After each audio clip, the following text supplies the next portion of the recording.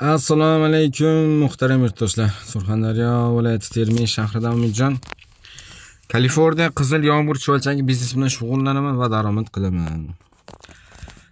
Akalar e, bizni bir jigarlarga bir savol bor. Xudo xohlasa nasib bo'lsa bu savolga e, kamanda kamandadan tashqari bizni ko'radigan videolarimizni ko'rib boradigan jigarlarimizga katta savol hammaga qiziqarli. Bu savollar nima uchun nima uchun berilyapti nima uchun e, bu savollar qiziqligi e, keyin e, ochiqlab ketiladi xudo xohlasa hozirmiz. Bu savol men uchun qiziq.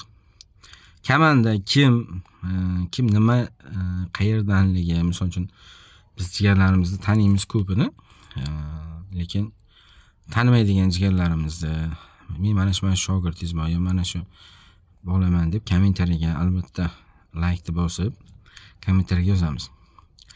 Tasavvur qiling bir million dollar pulingiz bor.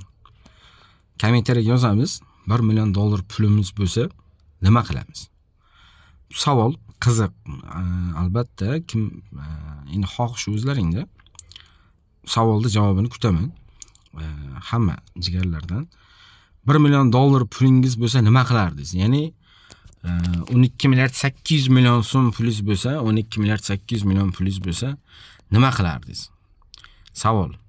E, realni o'ylab ko'rib yozing. Bunday ustav aka bunday edi bunday edi yarmini ehson qilib yuborardim bundan qilib yo'q narsa emas real narsani. Haqiqatdan ham shu bir million dollar bo'lsa nima qilardingiz javob kutaman kommentariyada.